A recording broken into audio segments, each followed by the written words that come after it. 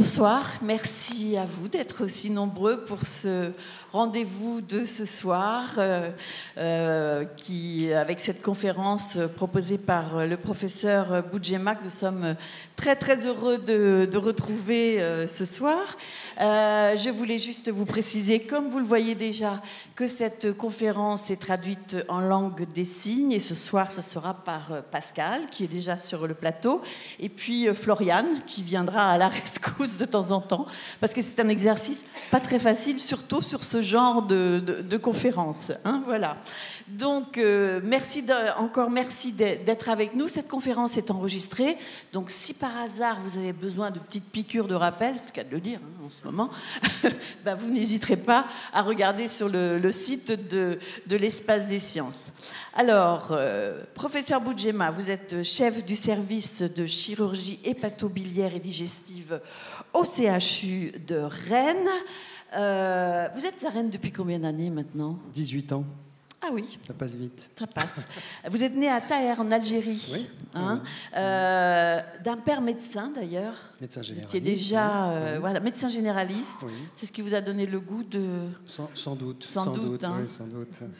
Vos études, vous les avez faites euh, un peu en Algérie et un peu en France? Euh, Oui, ma scolarité en Algérie et puis mes études de, médecine, en France. Euh, voilà. Et, vous retournez toujours, je crois, régulièrement là-bas pour former Régulièrement, avec beaucoup de plaisir, pour, parce que nous avons entre le CHU de, Rennes, l'hôpital Pontchaillou, et le CHU d'Alger, un accord donc, qui nous permet, nous, Rennais, d'aller aider à à opérer des malades un petit peu compliqués euh, à Alger. Donc à monter, on, dit les choses comme ça, monter un programme ah de transplantation du foie euh, en Algérie pour éviter que les malades aient à venir plutôt euh, en France, souvent à ne pas venir malheureusement parce qu'ils n'en ont pas les moyens, et donc à aller plutôt apporter là-bas ce que l'on sait faire ici.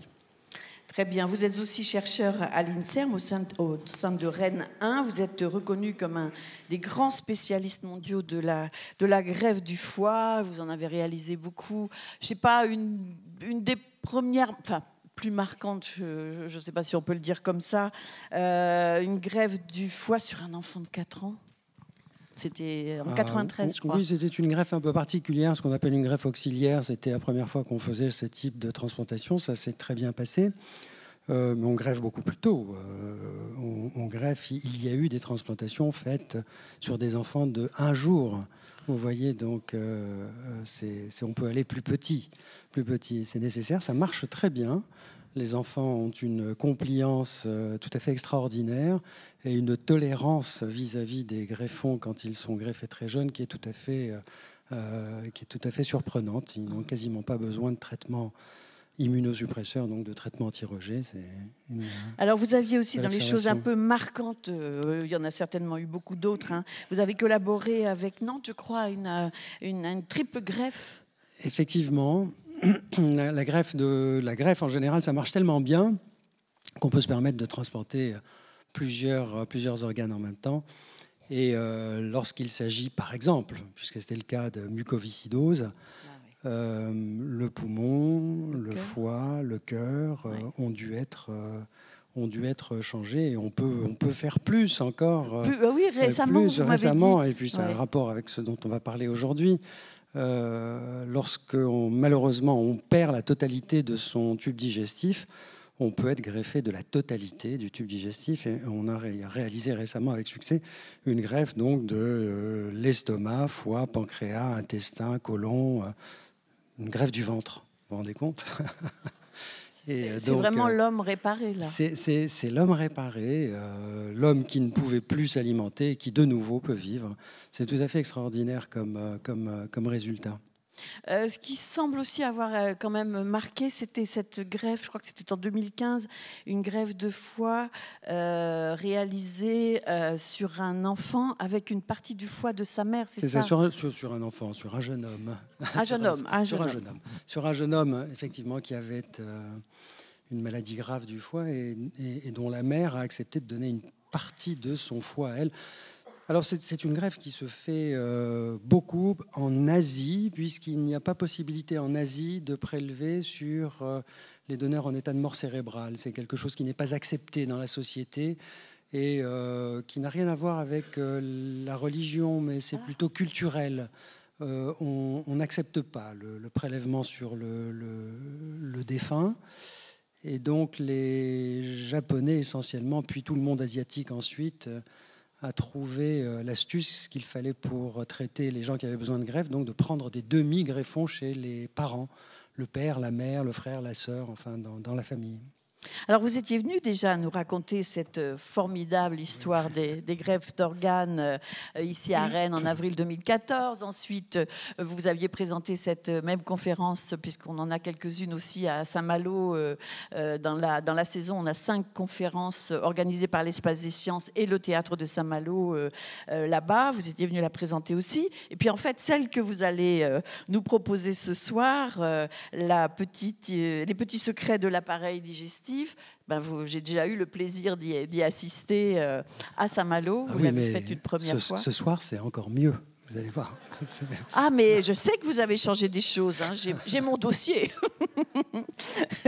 Euh, juste une chose pour, euh, pour euh, en arriver. On parle beaucoup, beaucoup en ce moment. Il y, a énormément de livres qui sortent sur comment manger, comment bien manger, ce qu'il faut éviter, manger de la viande, pas manger de la viande, etc. etc., etc. Comment est-ce que vous réagissez par rapport à ça?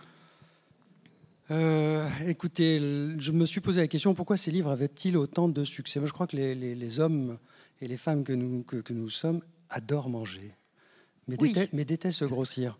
Et donc, euh, euh, il, faut essayer de se rassurer sans arrêt. Vous savez, quand, quand on mange bien, immédiatement après, on, on, cherche, on cherche la manière dont il faut se comporter pour perdre ce que l'on a apprécié. Alors effectivement, il y a beaucoup, beaucoup de littérature sur les régimes, mais finalement, je me suis rendu compte que très peu de gens savaient comment tout ça marchait. Et ça, ça vous semble important. Et, oui, et, j'entends tellement de, de sottises que je me suis dit, ça pourrait être intéressant de dire, ou en tout cas d'essayer d'expliquer simplement comment fonctionne notre tube digestif. et quelqu'un qui sait comment ça fonctionne, très naturellement, trouvera le moyen de s'alimenter correctement. Parce que si on grossit, vous savez, il y, a, de bonnes raisons. On mange trop et on mange mal, tout simplement. Et, quand on sait comment tout ceci fonctionne, eh bien, on comprend comment bien manger et euh, pourquoi peu manger.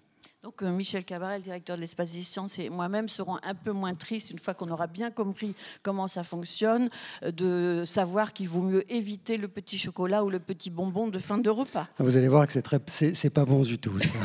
c'est pas bon du tout. bon, alors on y va pour découvrir les petits secrets de l'appareil digestif, et puis bien sûr, on vous donnera la parole ensuite euh, pour poser toutes les questions que vous aurez à poser. Je reste là parce que je pense que je vais en poser même pendant cette cette, conférence. C'est ainsi qu'on a décidé de fonctionner ce soir. Voilà, excellente soirée à tous.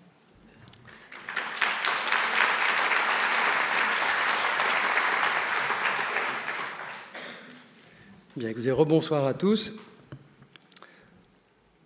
La question qu'on peut se poser, c'est à quoi sert le tube digestif? Tout de suite, se demander, euh, mais après tout, pourquoi ce tube digestif? Et j'ai essayé sur cette diapositive de vous faire comprendre que euh, nous ne sommes qu'un cerveau. Nous sommes un cerveau et que tout ce qui entoure notre cerveau est au service de notre cerveau. Nos mains, nos oreilles, notre nez, notre bouche, nos yeux, enfin tous nos sens sont là pour euh, nous défendre dans notre environnement et apporter, et apporter tout simplement à notre bouche la substance qui va permettre à notre cerveau de survivre. Donc tout au long de cette conférence, je pense que vous devez retenir que tout tourne autour de notre cerveau. Nous sommes l'esclave de nous-mêmes. Ça commence très tôt. Ça commence très tôt. J'ai essayé de représenter ici euh, un embryon humain. Vous voyez, c'est très grossier, mais on reconnaît l'œil là. Vers la troisième semaine in utero. Et eh ben, dès la troisième semaine apparaissent les ébauches de ce qui va être essentiel au maintien de la vie du tissu nerveux ici et de notre cerveau. Voici la, la, crête neurale qui commence à apparaître. Et cette crête neurale va donner dans son segment céphalique ici le cerveau, ici euh, la moelle épinière, puis tout le système nerveux.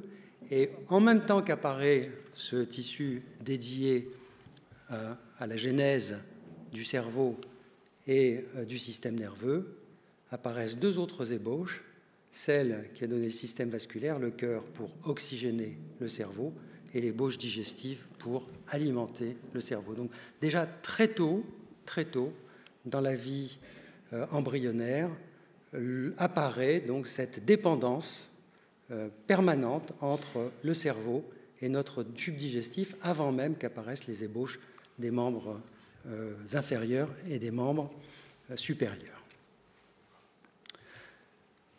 Il va falloir encore de longs mois pour que soit constitué l'ensemble du tube digestif, de, l'appareil digestif, ce dont je vais vous parler aujourd'hui, vous expliquer comment tout ceci fonctionne. Et euh, je voudrais euh, euh, tout de suite que vous y reconnaissiez deux parties bien distinctes. Il y a une partie thoracique qui comporte donc ici la, la bouche, l'œsophage, j'en reparlerai, et une partie abdominale, dans la cavité abdominale, constituée par l'ensemble des organes que vous connaissez, mais dont vous ne connaissez peut-être pas encore la totalité de la fonction, le foie, avec l'estomac, le tube digestif finalement, derrière ici euh, le pancréas, et vous verrez que tout ceci euh, euh, fonctionne en parfaite harmonie. Alors un tube digestif dans la cavité abdominale, à quoi cela peut bien ressembler Écoutez, je vais, vous, montrer là tout de suite ce qui se passe quand on rentre dans un ventre. Alors n'ayez pas peur, ce n'est que de la céliochirurgie. Voilà, on s'approche, un tube avec un optique rentre dans le, ventre et, voilà, vous, tombez ici sur ce qu'on appelle le tablier épiploïque, c'est de la graisse qui entoure le tube digestif. Vous avez euh, euh, là cette graisse, le foie, la vésicule, cette horrible vésicule biliaire que l'on repousse, l'estomac, ici cette large poche qui est euh, coiffée par la partie gauche du foie. Regardez ici l'estomac, qui a la forme d'une chaussette. Le tube digestif, c'est ça finalement, c'est pas très compliqué. Le foie, l'estomac, tout au fond là-bas, à gauche, à votre gauche, quand on soulève un peu la graisse, on tombe sur la rate. Tout le monde en a de la graisse, tout le monde en a, même les maigres. C'est indispensable. Alors regardez un petit peu là, ce qu'on appelle la reptation du tube digestif. Il bouge tout seul pour pousser le, bol alimentaire dont je reparlerai. Là, c'est le côlon, le côlon, qu'on reconnaît aisément avec ses ostrations ici, ces bandelettes assez larges, blanches ici. Et puis là-bas, tout au, tout au fond, le petit bassin, où l'on voit ici le, le rectum. C'est là que se trouve en avant euh, chez la femme l'utérus, la cavité utérine. Et voilà, là ici je prends dans la pince le côlon gauche et ce petit, ce petit truc en serpent, c'est l'appendice. Vous le saviez. Donc c'est ça le tube digestif. Alors si vous voulez bien, nous allons voir comment tout ceci, euh, tout ceci fonctionne.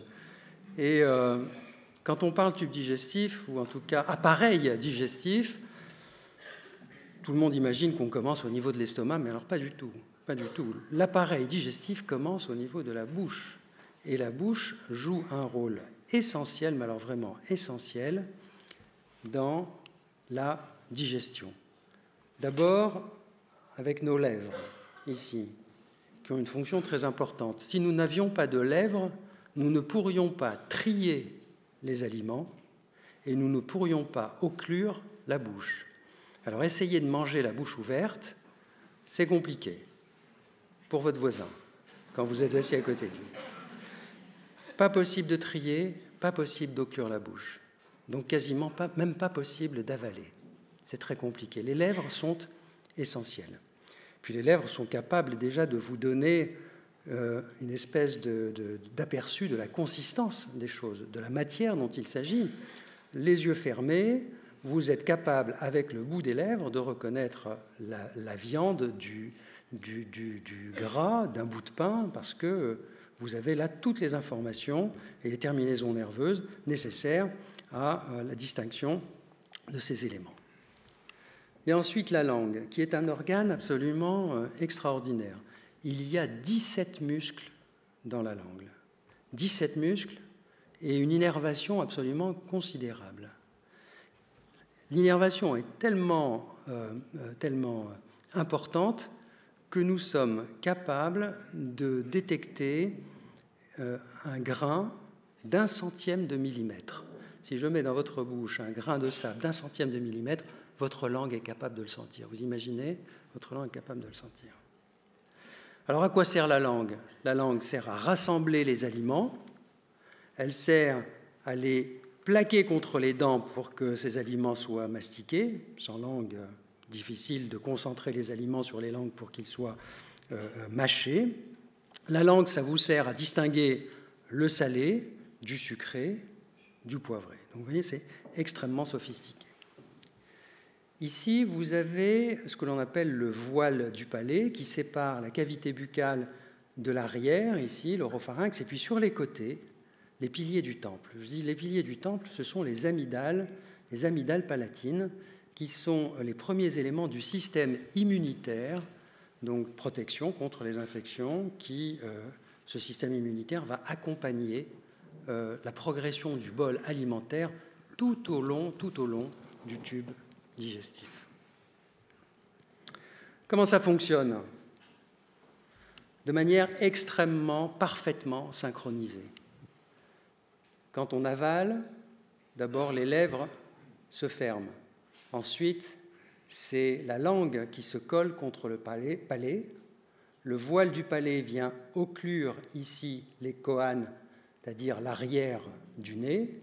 Lorsque ça ne s'occlut pas, par hasard, on a parfois des régurgitations de liquide dans le nez, ça arrive. Puis euh, la langue, donc écrasant le bol alimentaire, le pousse ici dans cette cavité qu'on appelle l'oropharynx. Et en même temps que le bol alimentaire arrive, des informations passent ici au niveau de l'épiglotte, c'est cette petite membrane qui vient fermer comme un clapet l'orifice trachéal, la trachée qui va vers les poumons, et permet donc au bol alimentaire, bol alimentaire ça veut dire fragment d'aliment, c'est un terme que j'utiliserai souvent euh, ce soir, le bol alimentaire, donc tout au long de l'œsophage. Tout ceci est parfaitement synchronisé? Il arrive malheureusement de temps en temps, et de manière tout à fait accidentelle, que les choses ne se passent pas tout à fait comme ça.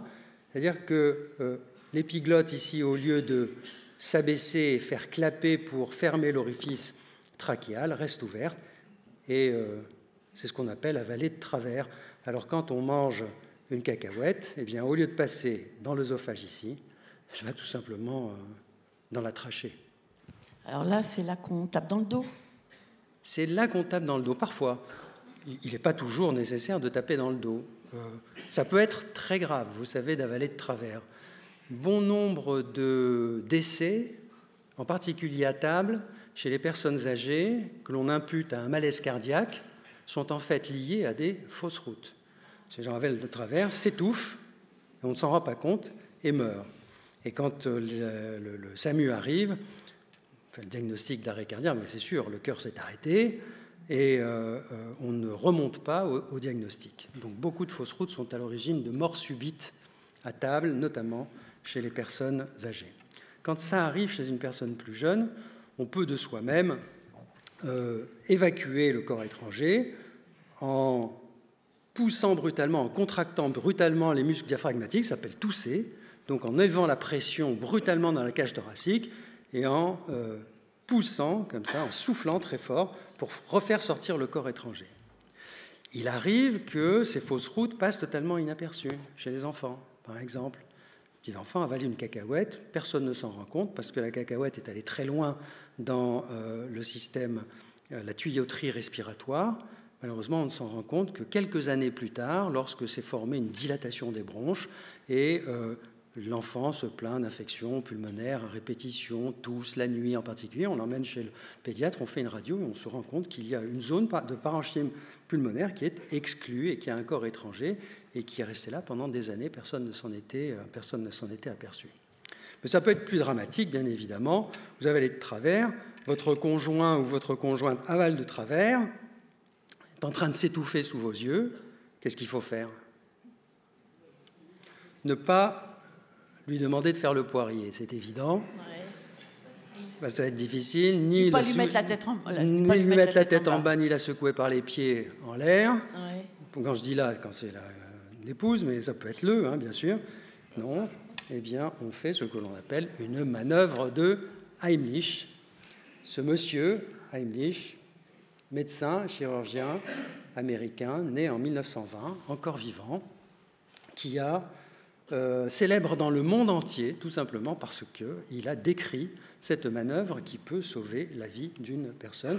On se met derrière et puis euh, on appuie de manière très brutale, énergique, forte sur la paroi abdominale pour simuler finalement ce que l'on fait naturellement en toussant, c'est-à-dire augmenter la pression dans la cage thoracique et essayer d'exsuffler brutalement le corps étranger.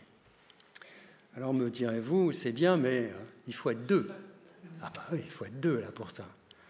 Bah, Hamlich a quand même décrit la manœuvre euh, personnelle en se servant donc euh, du dos d'une chaise, voilà, alors, messieurs, mesdames, si un jour vous étouffez, vite, vous courez, vous prenez une chaise et vous poussez dessus pour, pour faire sortir le corps euh, étranger. Donc, j'ai euh, pris cette image sur des vieux livres de, médecine, mais euh, vous voyez, ça a rendu célèbre cet homme, comme quoi il ne faut pas, pas besoin de faire des, quadruples, quintuples transplantations pour avoir un peu de célébrité.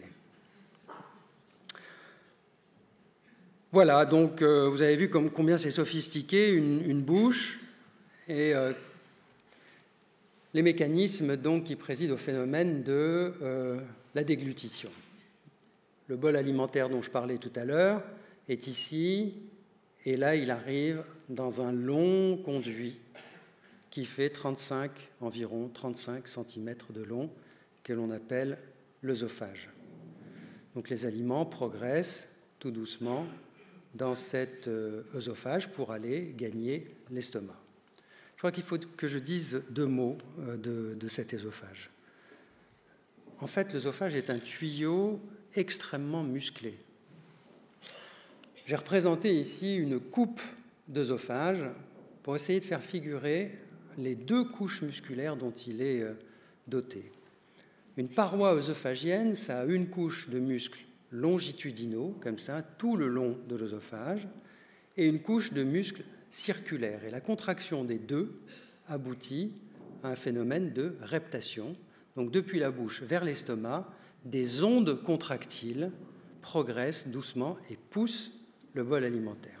C'est pour ça que si vous vous mettez la tête en bas et les pieds en l'air, décidément ce soir, je demande à ce qu'on fasse des exercices, euh, vous pouvez boire un verre d'eau, bien le, bol liquide, le bol alimentaire est capable de progresser parce que ça se euh, contracte, tout simplement. Euh, voilà, donc Mais là aussi, peut, ça, peut y avoir des, problèmes, ça ne marche pas à tous les coups. Alors il peut y avoir des problèmes, il peut y avoir des problèmes. Certains sont graves, d'autres le sont moins. Certains sont fréquents, d'autres sont exceptionnels. Je commence par les plus graves et les plus exceptionnels.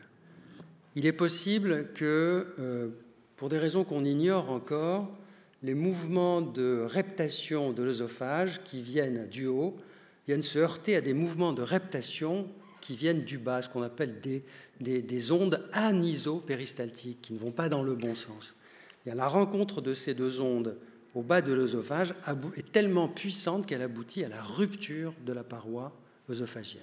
Ce syndrome, qui a été décrit par un Hollandais, M. Borave, est euh, bien connu des chirurgiens digestifs qui reçoivent régulièrement aux urgences des personnes qui décrivent très bien avoir ressenti une douleur extrêmement violente au cours d'un repas, suivi de, vomissements et puis très rapidement euh, d'un malaise qui les conduit à l'hôpital. Et là, on découvre qu'il y a à la partie basse de l'œsophage un gros trou. C'est une maladie euh, très grave, très difficile à traiter. On s'en remet euh, rarement, mais cela, cela peut arriver. Et il y a une autre. Moins grave. Moins grave. Heureusement, il y a une autre moins grave, mais qui est beaucoup plus fréquente. Qui est beaucoup plus fréquente, c'est ce que l'on appelle le reflux gastro-œsophagien. Le reflux, c'est très fréquent. D'ailleurs, les, personnes qui toussent, comme celles que j'entends depuis tout à l'heure, là, qui, qui toussent, voilà, qui toussent régulièrement comme ça, sont suspects d'avoir un reflux gastro-œsophagien. Euh, il y, a un homme politique, euh, Monsieur Guénaud, Monsieur Guénaud, qui, qui, qui, tousse très régulièrement quand il parle, a très certainement un reflux gastro. Ne lui, ne lui dites pas, ne lui dites pas. Pour la prochaine fois, on lui dira quand même, autant prévenir. Mais ça n'a pas échappé au médecin attentif que je suis. Alors c'est quoi le reflux gastro-œsophagien? Ceci est l'estomac. L'estomac est situé dans la cavité abdominale et non pas dans le thorax, alors que l'œsophage est dans le thorax. L'œsophage passe à travers un orifice, l'orifice œsophagien, avant d'aller dans l'estomac. Et ici, il y a un système anti-reflux qui est fait de plusieurs choses, de trois choses exactement. D'abord, un angle. Vous voyez qu'il y a un angle ici qui fait clapper à chaque fois que l'alimentation, la nourriture, le bol alimentaire veut remonter, il roule dans la cavité gastrique sans pouvoir remonter, parce que ce n'est pas le bon passage, il y a un clapet ici. Le deuxième élément, c'est qu'il y a un renforcement musculaire ici du bas œsophage qui fait qu'il se contracte euh, de manière réflexe dès qu'un aliment euh, passe, dans le, passe dans le coin. Et puis le troisième élément, c'est que la pression dans le thorax est plus élevée que la pression dans l'œsophage, si bien que très naturellement, les aliments progressent d'un système de haute pression vers un système de basse pression et non pas l'inverse. Mais imaginez, imaginez que tout ce petit système remonte dans la cavité thoracique. C'est ce que j'ai essayé de représenter sur ce schéma. Tout remonte. Adieu l'angulation, plus de valves, plus de, de, euh, donc. la différence de pression, c'est fini, puisqu'une partie de l'estomac est remontée euh, dans le thorax, et le renforcement musculaire ne suffit pas à lui seul à éviter le reflux. Et les reflux, comme ça, continuent. Comme c'est de l'acide dans l'estomac, ça finit par user les parois du bas œsophage. Ça les use, ça les use, ça brûle, on se lève la nuit, on tousse la nuit, on tousse le jour quand on parle, souvent comme Guénaud. Et puis, vous voyez, au bout d'un certain temps, malheureusement, ça entraîne des complications qui peuvent être graves. Alors, il y a deux types de complications.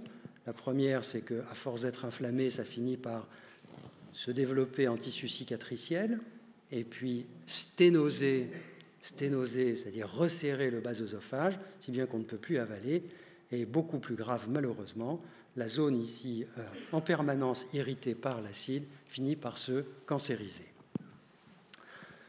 Alors, le, cancer de l'œsophage est quelque chose qui est euh, euh, très grave le bas œsophage ici se transforme en, peut-être le, siège d'un cancer à force de reflux, mais je ne voudrais pas que vous pensiez ce soir que c'est le reflux essentiellement qui donne le cancer de l'œsophage. Je vous le dis, c'est vrai, on ne veut pas y croire. Le tabac et l'alcool sont les, ont pour cible privilégiée, privilégiée entre autres, l'œsophage et sont des facteurs carcinogènes extrêmement euh, puissants. Il est exceptionnel d'avoir un cancer de l'œsophage quand on n'a pas un contexte de prise d'alcool abusive ou euh, de, de, tabagisme, de tabagisme important. 5 à 6 000 décès par an en France, tout de même. Et on pense au cancer du poumon, mais on ne pense pas à ça. Quoi. Le tabac, le tabac et l'alcool, c'est le cancer ORL, donc de la gorge, c'est le cancer de l'œsophage, c'est euh, le cancer de l'estomac, c'est euh, le cancer de la vessie, c'est le cancer du côlon. Vous voyez, il y a beaucoup, donc euh, ce sont des facteurs de risque de cancer qui sont extrêmement importants. voilà, il faut le, dire, que l'on sache une fois pour toutes. Alors, Jusqu'à présent, j'étais censé vous parler de, digestion et euh, je ne vous ai parlé que de progression de bol, de bol alimentaire. La digestion a un petit peu commencé dans la bouche parce que nous avons des glandes, les glandes salivaires, qui sécrètent euh, des enzymes, en particulier ce que l'on appelle de l'amylase, une enzyme qui dégrade l'amidon, donc qui a commencé la digestion au niveau de la bouche. Tout ceci est poussé au niveau de l'estomac, mais c'est là que commence véritablement l'affaire de la digestion euh, des, aliments. Et l'estomac, il a une particularité, c'est qu'il a une paroi qui est bordée de cellules qui sécrètent de l'acide. L'acidité gastrique est très importante. Le pH est situé aux alentours de 1 ou 2. Vous y mettez le doigt, cela vous brûle terriblement, donc c'est vraiment de l'acide. De l'acide.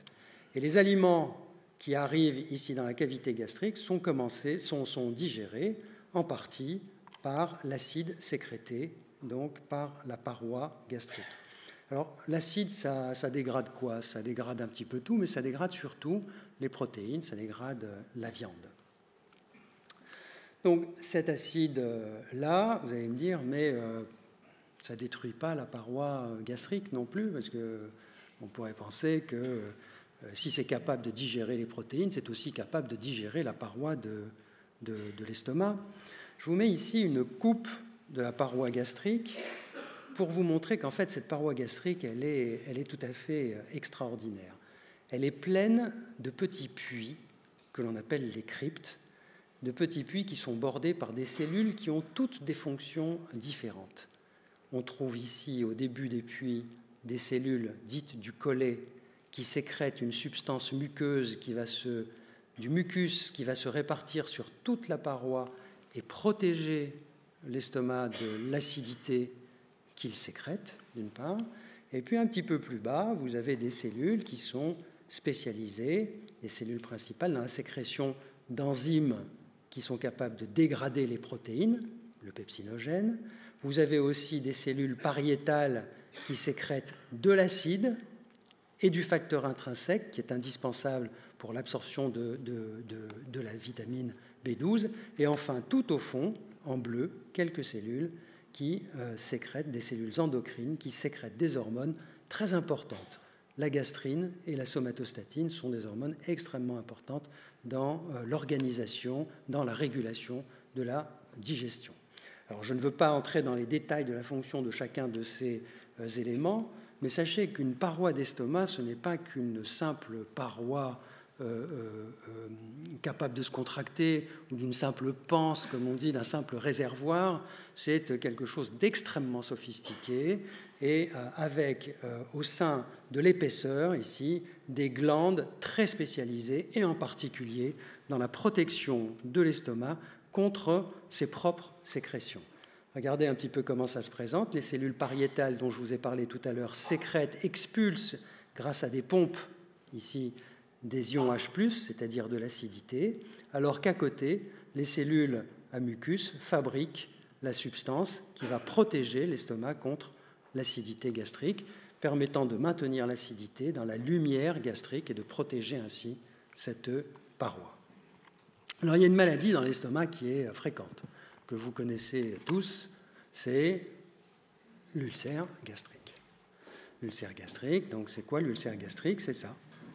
Ça, c'est un juste, juste, un instant, professeur. Vous entendez tous bien? C'est suffisamment fort Un petit peu plus fort, peut-être. Hein? Tout à coup, j'ai eu une petite inquiétude. Euh, si tu peux augmenter un tout petit peu le son, Franck, je pense que ce serait bien. Merci. Parfait. L'ulcère gastrique, c'est ça. C'est un trou dans la paroi de l'estomac. Vous en avez un ici qui est euh, creusant, qui est presque perforant, vous en avez une autre forme ici qu'on voit parfaitement. Donc là, la muqueuse de l'estomac, celle dont je vous parlais à l'instant, euh, on ne voit pas hein, les glandes, les cryptes dont je vous parlais tout à l'heure, c'est tout petit. Et puis au fond de cet ulcère creusant, un dépôt de ce qu'on appelle de la fibrine, espèce de colmatage naturel de l'ulcère. Alors, euh... l'ulcère, ça doit être de plus en plus fréquent puisque on dit souvent que c'est lié au stress, il y a des gens de plus en plus stressés, tout va de plus en plus vite, on a plein de soucis, donc il y a de plus en plus d'ulcères. C'est vrai. Pourtant, il y a de moins en moins d'ulcères. Bizarre. Il y a de moins en... il n'y a pratiquement plus d'ulcères. Alors que notre vie euh, va de plus en plus vite, comme, comme vous le disiez à Maët, nous, nous, nous sommes stressés du matin, du matin au soir.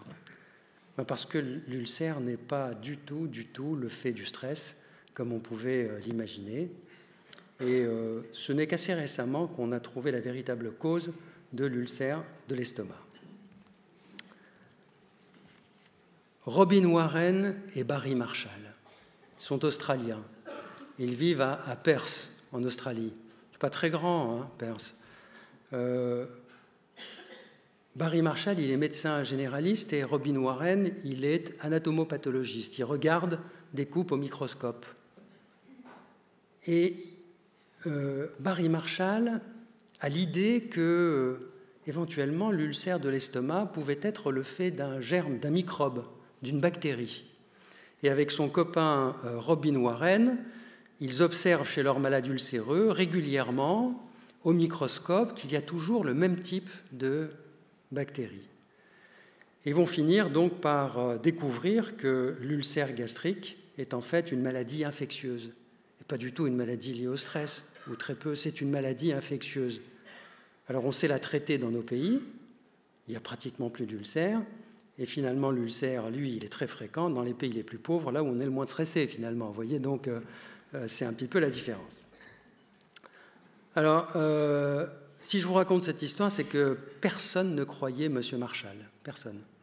Il ne faisait pas partie de l'establishment, il n'était pas à l'université, il n'était pas un grand professeur, et il y croyait dur comme fer à son affaire. Alors qu'est-ce qu'il a fait? Il a pris un tube dans lequel il a mis les germes dont il croyait euh, être responsable des ulcères et il a avalé son tube. Quelques heures après, il s'est mis à se tordre de douleur. Il s'est fait faire une endoscopie, un prélèvement par son copain Warren qui lui a dit Mais tu as, tu as, tu as un ulcère, là ça commence euh, très fort. Et il a pu publier donc cette observation et montrer la relation qu'il y avait entre l'ulcère et une bactérie qu'on appelle Helicobacter pylori, qui ressemble euh, à ça, avec des, petits poils là derrière, qui est une bactérie qui se trouve à une concentration assez rare dans la paroi de l'estomac et qui reste longtemps asymptomatique. Ça ne donne pas de douleur, ça ne, fait rien du tout jusqu'au jour où on découvre par hasard un ulcère. Alors comment fonctionne Helicobacter pylori? C'est très facile. Helicobacter pylori a une enzyme très particulière qui s'appelle l'uréase, qui transforme l'urée en ammoniac et en bicarbonate. Donc Helicobacter pylori fabrique dans son environnement un milieu basique qui est capable de tamponner l'acide et donc de le protéger. Et Helicobacter pylori ainsi protégé s'enfonce sans être inquiété par l'acide jusqu'aux cellules pariétales qu'elle détruit. Et comme les cellules pariétales sont détruites, elles deviennent elles-mêmes sensibles à l'acide qui est sécrété par l'estomac. Et voici l'ulcère donc euh, euh, formé dans la paroi gastrique. Regardez les progrès qu'on a pu faire en, matière d'ulcère. En 1950, je me souviens, mon, père avait un ulcère de l'estomac. Tous les matins, il se levait de, bonne, de mauvaise humeur, pardon, déjà.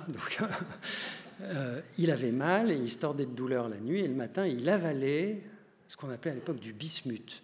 C'était une espèce de, c'est une espèce de plâtre euh, absolument infâme qu'il mettait dans son verre avec de l'eau et qu'il avalait le pauvre euh, difficilement. Et puis, il en a eu tellement marre de souffrir ben, que dans les années 70, il est allé se faire opérer. Et on lui a enlevé les 4 cinquièmes de l'estomac. Et effectivement, dans les années 70, on traitait l'ulcère gastrique par l'ablation de l'estomac. Pas terrible, pas terrible. Et puis, en 1980, on a inventé, on a trouvé une molécule euh, qu'on a appelée l'inhibiteur de la pompe à protons, c'est-à-dire une molécule qui était capable d'empêcher les cellules gastriques de sécréter ces ions H+, donc de fabriquer de l'acide. Progrès considérable, ça a réduit, mais alors vous ne pouvez pas imaginer l'incidence de l'ulcère gastrique extraordinaire. J'étais au début de, ma carrière de chirurgien, jeune, jeune étudiant en chirurgie, interne en chirurgie. Nous opérions toutes les nuits un à deux ulcères perforés. Et puis, dès l'apparition, à la fin des années 80, de cet euh, antiacide, fini. Plus d'ulcères perforés en urgence, plus d'ulcères hémorragiques en urgence dans les hôpitaux. Et aujourd'hui, on n'utilise plus ça du tout, qui a fait la fortune des grands laboratoires, c'est fini on utilise simplement des antibiotiques qu'on prend en quelques prises, je ne sais plus très bien, deux ou trois prises. Hop, terminé, plus d'hélicobactères, c'est guéri et c'est une maladie qui, dans nos pays, a quasiment disparu. C'est quand même une idée tenace, l'idée que ça tienne au stress et aux contrariétés. Combien de parents ont dit à leurs enfants Tu vas me faire faire un ulcère, etc. Hein et eh oui, eh bien non, voilà. pas, d'ulcère avec le stress et les enfants peuvent continuer de travailler. Alors euh, euh, là, on va, on va peut-être passer plus à, la manière dont tout cela fonctionne. par exemple, il y a des, expressions. Euh, j'ai un creux à l'estomac, euh, ou alors le contraire, euh, j'ai pas faim. Qu'est-ce qui provoque ces, ces, envies ou, des goûts? Je ne sais pas si on peut dire ça comme ça. Oui, bien sûr. C'est exactement ça. J'ai l'estomac dans les talons, par exemple. J'en ai plein l'estomac. Tout varie entre j'ai un creux à l'estomac et puis j'ai fait bombance. Vous voyez, j'ai fait bombance. Ça veut dire, en fait, ça traduit tout simplement les deux états, les deux phases entre lesquelles oscille notre, notre comportement. Quand je dis notre comportement, c'est le comportement de notre cerveau, c'est nous. Enfin, j'ai difficile à m'assimiler à mon cerveau. Pourtant, mon cerveau, c'est moi. Donc, c'est un petit peu compliqué. Mais alors, bah, je, vais, vous dire, quand, mon estomac est plein, et est vide, pardon, quand mon estomac est vide, il y a des récepteurs ici sur les parois de l'estomac qui, sont capables d'envoyer des influx nerveux à, mon estomac, à pardon, à mon cerveau. Pareil. Donc cet influx nerveux. Et puis, euh, comme j'ai l'estomac vide, il y a longtemps que je n'ai pas mangé, mon tube digestif se met à sécréter une hormone qu'on appelle la gréline. Et puis, comme il y a longtemps que je n'ai pas mangé, mon taux de sucre dans le sang est plutôt à la baisse, il est au-dessous de 1 g par litre. Tous ces éléments envoient des signaux à mon cerveau pour dire il faut manger, il faut trouver de la nourriture. Et c'est là donc que se mettent en action les muscles, les mains, les yeux, les oreilles, le nez pour trouver de quoi alimenter notre cerveau. Et puis quand j'ai fait bombance, eh bien, euh, mon estomac se distend, Là, les récepteurs se mettent en action. Évidemment, un influx nerveux par ce qu'on appelle les nerfs vagues qui euh, remontent.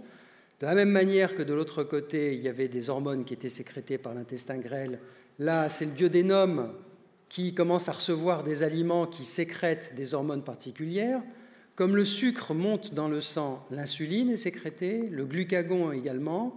Donc la glycémie elle-même et le glycogène hépatique, je vous montrerai ce que c'est tout à l'heure, disent à mon cerveau, stop, il ne faut plus manger, c'est ce qu'on appelle la sensation de satiété. Donc nous oscillons en permanence entre la sensation de faim et la sensation de satiété. Ce n'est pas là que ça se passe, c'est vraiment dans le cerveau que ça se passe, à travers des signaux qui sont envoyés par l'état, essentiellement l'état de distension de notre, de notre, de notre estomac. Alors, Figurez-vous que c'est de ça, c'est de cette notion qu'on s'est servi pour essayer de traiter le phénomène de boulimie. Sachant que la distension gastrique est euh, envoyée un stimulus très fort au cerveau pour dire stop, il faut plus manger, on se dit mais on va mettre un leurre dans l'estomac. On va y mettre une espèce de ballon qu'on va gonfler, on va le faire descendre par voie endoscopique, on va gonfler ce ballon, le mettre dans l'estomac, et faire croire à l'estomac, plutôt au cerveau, qu'on en a plein l'estomac. Effectivement, ça marche. Le seul problème, c'est que ça donnait beaucoup de complications, bah, parce que quand on avait bu, la bulle qui était remplie d'air remontait et avait tendance à faire clapper sur le haut de, l'œsophage, ça entraînait des, des, reflux, parce que le système anti-reflux était à ce moment-là euh, contrarié. Et c'est euh, à partir de cette notion-là qu'est venue l'époque des anneaux gastriques, c'est-à-dire faire croire au cerveau que la petite poche ici, qui reste après avoir coincé l'estomac par un anneau gastrique, eh bien, terriblement distendue par le peu d'aliments qu'on alimente, envoie des stimuli au cerveau pour dire stop, il ne faut plus manger. Alors les anneaux gastriques, on en a posé pendant longtemps. Malheureusement, ça ne marche pas très bien. C'est à l'origine de complications et ce n'est pas toujours efficace. Parce que quand on a très faim et qu'on a vite compris que les aliments ne passaient pas l'anneau, on se met à absorber des choses très sucrées et liquides pour que ça passe l'anneau et que ça aille satisfaire notre cerveau qui nous pousse à trouver le moyen de contourner euh, l'obstacle. Et puis cet anneau a la fâcheuse tendance à glisser ici le long du tube et à remonter sur l'œsophage. Comme ça qu'on a pu voir des euh, catastrophes être obligé d'aller enlever en urgence ces euh, glissements euh, d'anneaux. Aujourd'hui, on fait une intervention chirurgicale qui est beaucoup plus efficace que ça, qui marche très bien, mais qui nécessite une intervention chirurgicale. C'est-à-dire qu'on fait ce qu'on appelle une sleeve gastrectomie. Sleeve, c'est le mot anglais pour dire manchon, une manche, donc sleeve, gastrectomie. On taille l'estomac de sorte qu'on l'ampute finalement de ses 4 à 5e pour constituer ce manchon. imaginez que quand vous avez un estomac comme ça, il en faut peu pour transmettre au cerveau la sensation de plénitude gastrique qui est indispensable pour inhiber la, euh, donc la faim. Mais ça ne suffit pas. Je vous dis tout de suite, il ne suffit pas de se faire faire une sleeve gastrectomie pour arrêter de manger et traiter euh, comme ça euh, le, surpoids. Il faut aussi être encadré psychologiquement, conseillé et suivre des règles hygiéno-diététiques extrêmement rigoureuses. Alors je continue, je continue parce que euh, tout ne se fait pas dans l'estomac. Hein, la digestion, beaucoup de la digestion se fait dans l'estomac, mais vient un moment où l'acidité ici et, la plénitude est telle que le muscle qui boucle l'estomac à sa partie distale s'ouvre. Ce muscle, c'est le pylore. Il s'ouvre et les aliments commencent à passer dans ce que l'on appelle le duodénum. Ce duodénum est assez court, il fait une quarantaine de centimètres. Nous en avons quatre parties, une première horizontale, une seconde verticale, une troisième horizontale, un angle ici qui empêche d'ailleurs en partie le reflux des aliments vers le duodénum et quelques centimètres ici. C'est sur ce court trajet que se passent des phénomènes tout à fait extraordinaires et l'essentiel de la digestion des aliments. Et contrairement à ce que l'on croit, la digestion ne se fait pas tout au long du tube digestif, c'est plutôt l'absorption qui se fait au niveau du tube digestif. La digestion elle-même se fait au niveau de l'estomac et au niveau du duodénum pour l'essentiel. Alors comment elle se fait? Elle ne se fait pas toute seule. Elle se fait parce qu'elle était aidée par deux glandes, deux glandes très importantes, que vous connaissez tous, mais vous ne saviez pas que c'était des glandes de l'appareil digestif. C'est le foie, d'une part, qui sécrète la bile, et le pancréas, qui sont là. Ce sont deux appareils, ici, deux organes, qui, par un conduit, ici le canal hépatique, et ici le canal dit de Wirsung, apportent dans la lumière duodénale où vient passer le bol alimentaire toute euh, la chimie, toutes les enzymes qu'il faut pour euh, avancer dans la digestion des aliments, c'est-à-dire leur dégradation en nutriments, en éléments tellement petits qu'ils vont pouvoir passer plus tard à travers la barrière intestinale. Alors, oui, on, peut, on, en arrive à la vésicule biliaire, c'est ça? Oui, là, vous voyez cette vésicule biliaire là. Ça, c'est la vésicule biliaire. Tout le monde sait que ça contient de la bile, et elle est essentielle, cette vésicule biliaire, parce que quand des corps gras arrivent dans la lumière du euh, duodénum, la vésicule se contracte et pousse la bile dans euh, le duodénum pour nous aider à digérer. Mais alors, quand on enlève la vésicule euh, biliaire, on n'a plus de bile. On se fait plus de bile. on pourrait, on pourrait, on pourrait le, penser, on pourrait le penser, mais ce n'est pas comme ça que ça se passe, parce que quand on enlève la vésicule biliaire, on continue, heureusement, de fabriquer de la bile.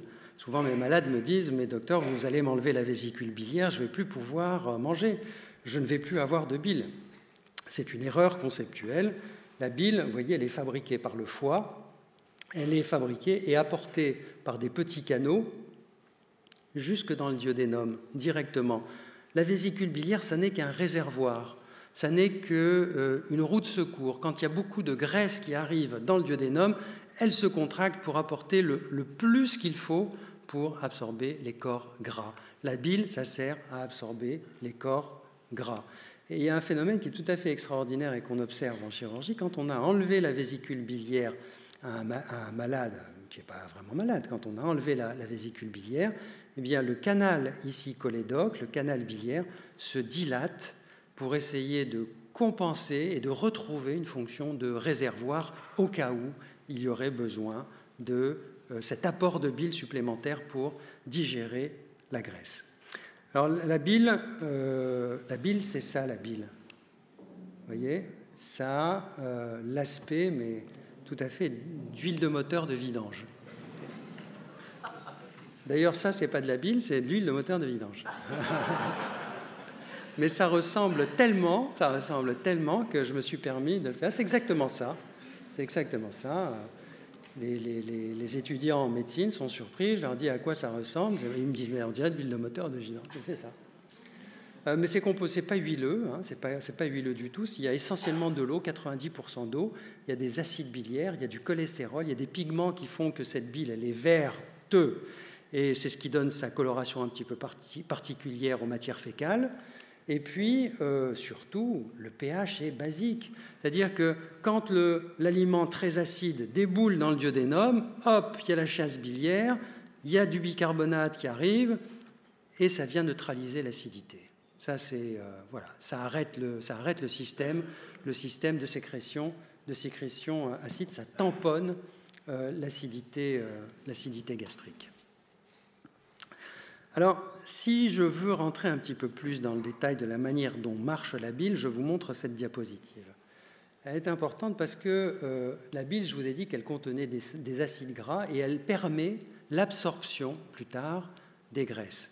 Les graisses, ça ne se mélange pas à l'eau vous le savez tous, c'est insoluble dans l'eau. Bien pour solubiliser les graisses en milieu aqueux, dans le tube digestif, les acides biliaires viennent s'organiser comme ça autour de micro-gouttelettes de lipides. Et les acides biliaires ont deux pôles, un pôle hydrophile, un pôle hydrophobe. Et euh, le pôle hydrophobe se met du côté des graisses, le pôle hydrophile de l'autre côté. C'est pour celles qui, ou ceux qui font de la cuisine, c'est ce qu'on appelle l'émulsification.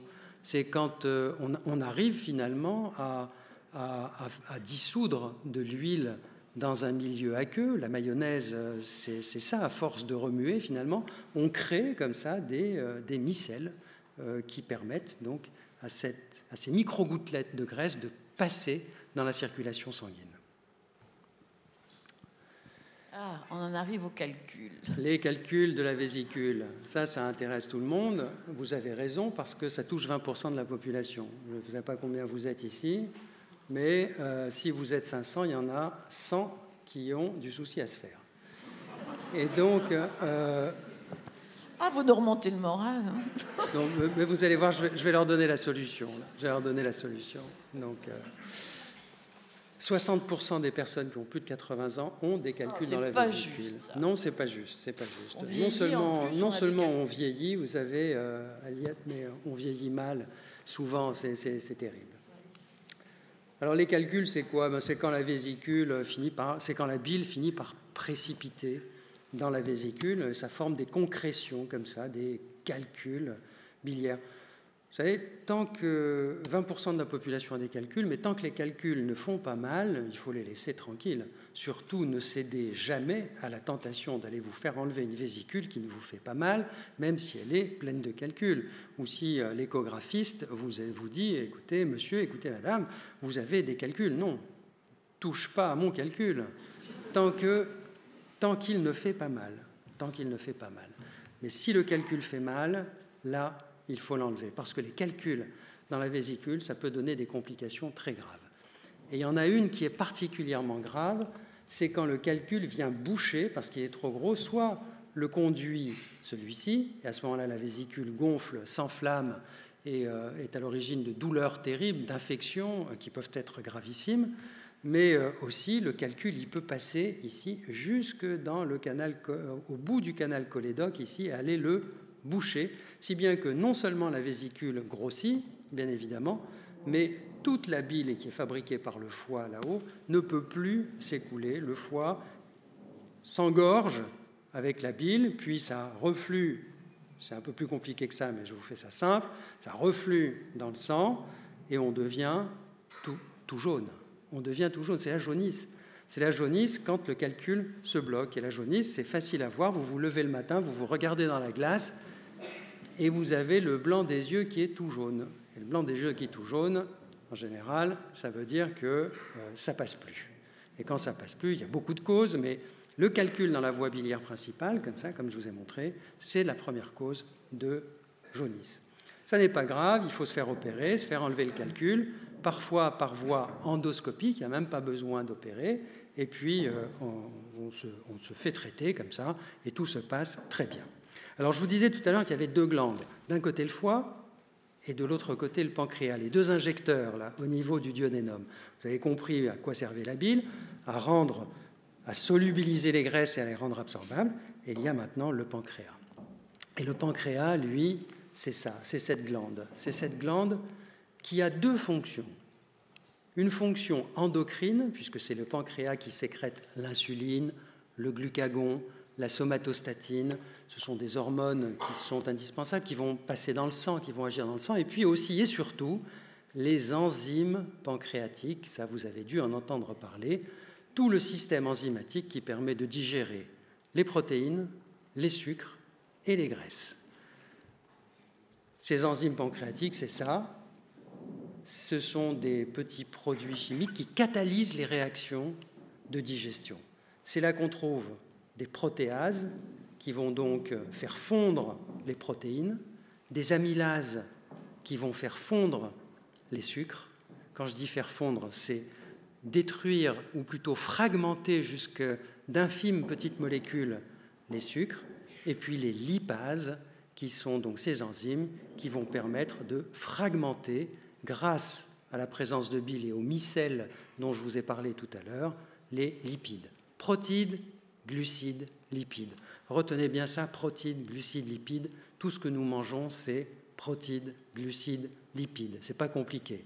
Vous y ajoutez quelques vitamines et des oligoéléments et vous avez là l'essentiel de la composition de ce que l'on absorbe tous les jours. Et quand on a compris comment ça passe la barrière et où ça va et pourquoi ça y va, il n'y a pas besoin de lire des tonnes de livres de régime pour gérer son alimentation. Vous voyez qu'à la sortie du duodénum, l'essentiel est fait. Les injecteurs sont là, tout est digéré, ça a été broyé par l'estomac, ça a été acidifié, les enzymes ont agi, la bile est présente, et après, ben, il n'y a plus qu'à euh, absorber tout ça. Parce qu'une fois que ça a été euh, malaxé, que ça a été détruit, que ça a été réduit, que, les aliments ont été transformés en nutriments, en nutriments, que les polysaccharides ont été transformés en monosaccharides, que les protéines ont été transformées en oligopeptides ou en acides aminés, que les lipides ont été mycélisés, tout ceci doit passer dans le sang. Et ça se fait tout au long de l'intestin grêle, qui mesure 3 mètres. Ça fait beaucoup, beaucoup de choses pour, euh, pour 3 mètres. Ça fait beaucoup de choses pour 3 mètres. Allez, ça fait combien de, diamètre, je dirais? Ça fait 5 cm de diamètre, 3 mètres de long. Ça n'avait pas, pas, une surface d'échange extraordinaire. eh bien, si, pourtant. Si, pourtant, parce que quand on regarde un, intestin euh, en endoscopie, par l'intérieur, vous voyez qu'il y a des replis. Donc déjà, les replis, ça augmente la surface. Ça, ça doit tripler la surface. Et quand on regarde ces replis au microscope, on voit qu'il y a des villosités, c'est-à-dire qu'il y a des, petites tiges. Chacune multiplie euh, par 100 au moins, par centimètre carré, la surface d'échange. Et quand on grossit encore, on, voit que ces villosités sont bordées par des micro-villosités. Finalement, sur 3 mètres d'intestin, la surface d'échange pour absorber les éléments fait 300 mètres carrés. Eh oui. 300 mètres carrés. 300 mètres carrés. Vous vous rendez compte ça, ça, doit, je sais pas, la scène fait combien là? Elle doit faire ça, hein C'est ça. Le dôme du planétarium, dit vous Michel voyez, Cabaret. Vous voyez, vous voyez, un petit peu le, le, dôme du planétarium, 300 mètres carrés. C'est énorme. Mais il faut ça pour absorber euh, les, les, les, les nutriments. Alors donc le bol alimentaire progresse comme ça, tout doucement, progresse, progresse, le long des villosités, puis les échanges les échanges se font, enfin les échanges non, le passage se fait, c'est-à-dire que les, molécules, le, glucose, le fructose, le galactose, les acides aminés, les oligopeptides, les petites micelles lipidiques euh, qui ont été transformées et catalysées par la lipase euh, pour donner, euh, par exemple, des acides gras libres, tout ceci passe à l'intérieur des cellules, parce que quand on grossit encore, tout ceci est bourré de petites cellules sur lesquelles il y a euh, une bordure en brosse, il y a encore d'autres petits cils, des petits poils, c'est extrêmement, extrêmement sophistiqué. Je, vais vous, faire ça très, très, court et très simplement. Regardez, vous avez ici des macro-éléments qui ont été fragmentés, qui ont été transformés en petits ou en très petits. Ça fait des oligopeptides, des acides aminés, des disaccharides qui viennent le long. Là, ici, c'est la paroi. On est, on est dans la paroi euh, microscopique hein, de l'intestin. Ça arrive sur les cellules qui bordent la paroi intestinale.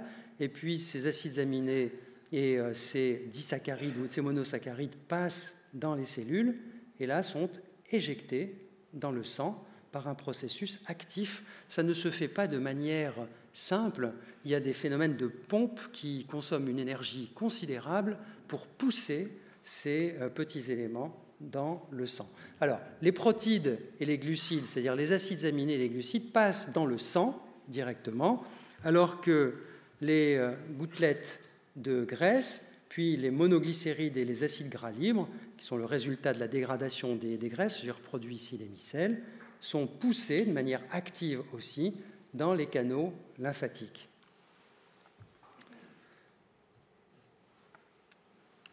Alors tout ceci, ça représente quoi en volume? Les volumes gérés par l'intestin grêlé par jour. On compte ce qu'on absorbe. Les aliments, c'est environ un litre. Les boissons, c'est environ un litre 250. Donc il y a 2250 millilitres d'ingesta, mais euh, je vous ai dit qu'il y avait de la bile, des sucs gastriques, des euh, sucs euh, pancréatiques, des sucs intestinaux. Tout ceci représente 7 litres 50. C'est pour ça que je ris, je ris doucement quand on me dit je ne mange rien et je continue d'aller à la selle. Ben oui, ben oui, ben il y a 7 litres et demi de, de sécrétion interne. Moi, ça ne m'étonne pas, vous voyez. Donc, mais, regardez, c'est absolument fabuleux. Notre, estomac, notre intestin grêle, il gère 9 litres et demi tous les jours. 9, litres et demi de, liquide qu'il malaxe, euh, qu'il transforme et qu'il absorbe. Et arrive enfin, et arrive enfin le côlon. Ça, tout le monde connaît. Tout le monde en entend parler. Vous avez trois parties, une partie ascendante, une partie transverse, une partie gauche. Ce côlon qui est irritable au possible, qui est à l'origine de souffrances multiples, de nombreuses euh, maladies, on peut se demander quelle fonction il peut avoir et si on ne ferait pas de se le faire enlever tout de suite finalement. Très important le côlon, très très important, d'abord parce que c'est le dernier endroit où on peut réabsorber toute l'eau qui nous manque lorsqu'on n'a pas ingéré suffisamment d'eau. Donc euh, c'est un endroit où, les matières également se concentrent puisqu'on extrait, on en extrait euh, finalement l'eau. Et euh, c'est là que tous les déchets se concentrent pour finir par être évacués. Et puis enfin, le côlon, je vous en parlerai tout à l'heure, est bourré de germes qu'on a longtemps qu'on a longtemps imaginé être des germes pathogènes à l'origine de maladies et dont on sait aujourd'hui qu'ils sont finalement nos amis, nos amis et qui permettent et qui nous aident à gérer les aliments en fin euh, de euh, digestion. Je vous ai fait une diapositive pour vous résumer les choses. Voici notre tube digestif. Voyez, cette machine qui absorbe des lipides, des protides, des glucides, un petit peu de vitamines et de l'eau. Tout ceci passe dans la broyeuse et puis est sécrété, déversé dans le sang transporté comme ça dans le sang. C'est ça le phénomène de la digestion et le phénomène de l'absorption. Mais retenez bien, hein, toujours, lipides, protides, glucides, les vitamines indispensables qui ne, se trouvent, qui ne sont pas fabriquées par l'organisme et donc il faut aller chercher dans l'alimentation, et puis évidemment les liquides. Alors, transporter, euh, oui. Livrer où? Si j'ose dire. Mais c'est absolument pertinent. Je commence par les sucres, parce que c'est ce qui s'absorbe le plus vite. Regardez ce que font les sucres. On sait aujourd'hui, la benne pleine de sucre, elle est dans le sang, et euh, le taux de sucre dans le sang, il est régulé, permanence, 1 gramme par litre ça reste, quand on n'est pas malade, pas diabétique, 1 gramme par litre. Pourquoi? Il n'y a qu'un seul but, alimenter le cerveau. Notre cerveau ne mange que du sucre. Il ne se nourrit que de sucre. Et il lui en faut, il faut qu'il puise ce sucre dans un environnement où la concentration est de 1 g par litre. Minimum, il lui faut donc 100 g par litre de sucre, très régulièrement. Donc l'alimentation et les sucres que l'on absorbe vont dans le flux sanguin pour alimenter le cerveau. Mais il y a souvent plus de sucre que n'en consomme le cerveau. Donc on fait des petites réserves. Et la première petite réserve que l'on fait, elle est ici, c'est dans le foie. Le sucre est transformé en glycogène. Ce sont des espèces de, de rameaux, ici, de molécules de sucre, de glucose en particulier, qui forment ce qu'on appelle le glycogène et qui est mis en réserve dans le foie. Et lorsqu'on a besoin de sucre brutalement, et c'est particulièrement le cas des sportifs qui doivent mobiliser euh, rapidement du sucre, à la fois pour leur cerveau, mais aussi pour faire fonctionner leurs muscles, ils vont chercher ce glycogène où? Dans le foie. Et il y en a pour quelques heures, pas plus de réserve. Hein. Après, il faut aller le puiser ailleurs. Et puis quand le glycogène, quand le foie est plein de glycogène, eh, il faut aller euh, faire des réserves ailleurs. C'est un processus qui est un petit peu plus lent, tente dans la mise en réserve que dans la libération, forme ici, je vous ai mis en rouge, c'est du glycérol. Le glycérol, c'est un dérivé du glucose. C'est un alcool qui va se lier à des acides gras, à des graisses, pour former les triglycérides, ces fameuses graisses qui viennent se mettre là où vous euh, savez. Donc vous voyez, les sucres que l'on, a absorbés, ils nourrissent le cerveau, ils font des petites réserves rapidement mobilisables au niveau du foie, et ils font des réserves un petit peu plus lentement mobilisable, mais pour le plus long terme, dans la graisse. Alors,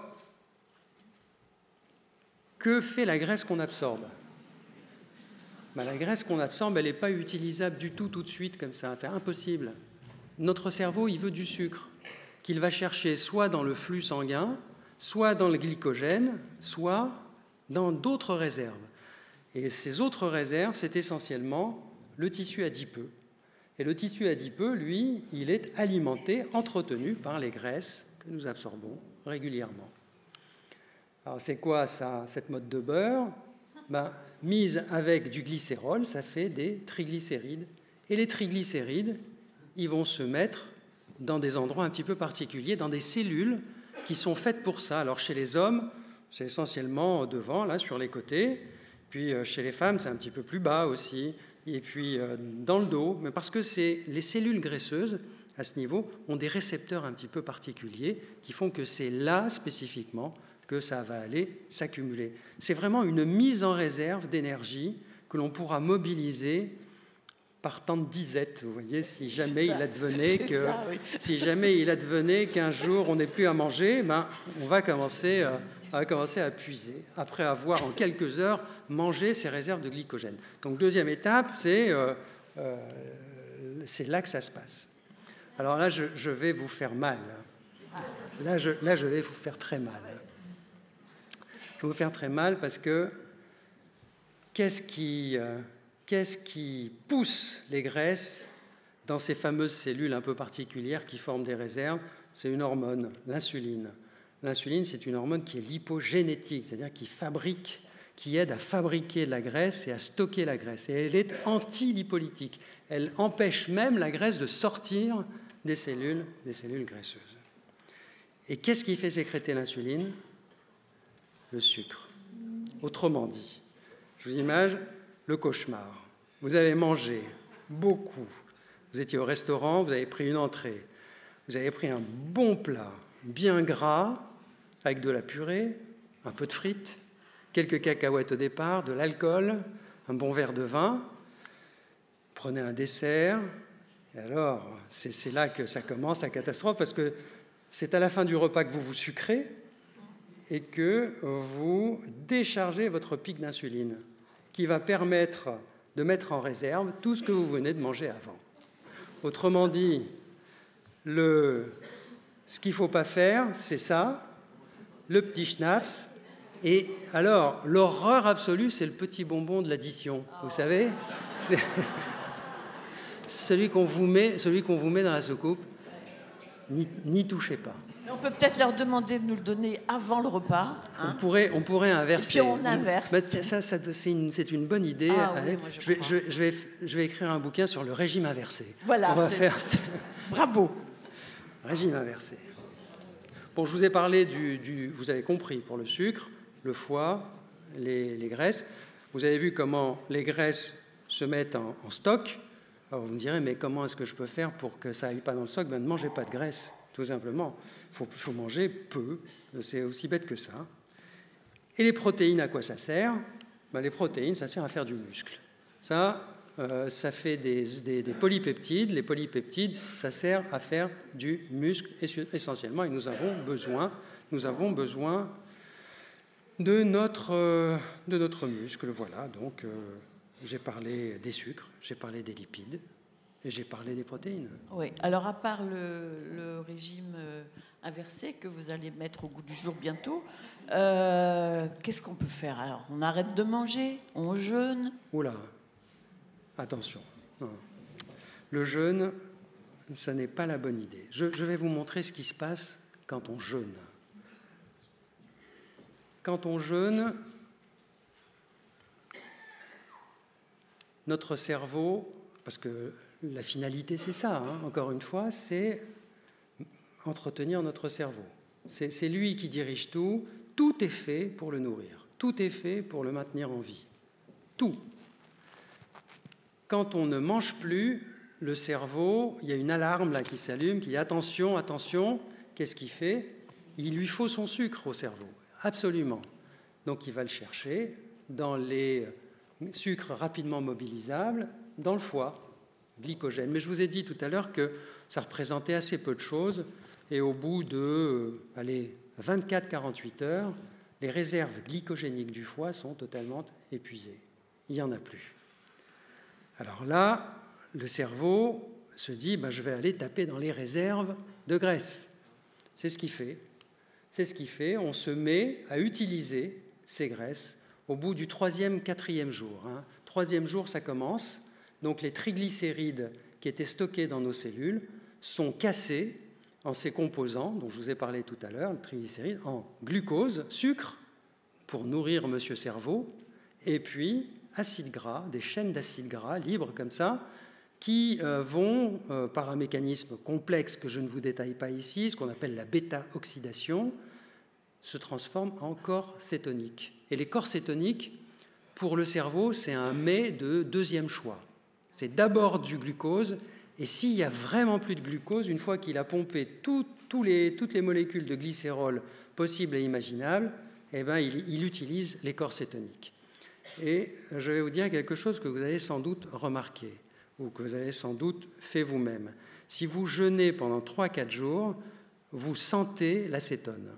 C'est euh, tout à fait, c'est très net. Ou si vous croisez quelqu'un qui n'a pas mangé pendant 3-4 jours, il sent l'acétone. Ben, c'est un, corps volatile et il est en train de dégrader ses graisses.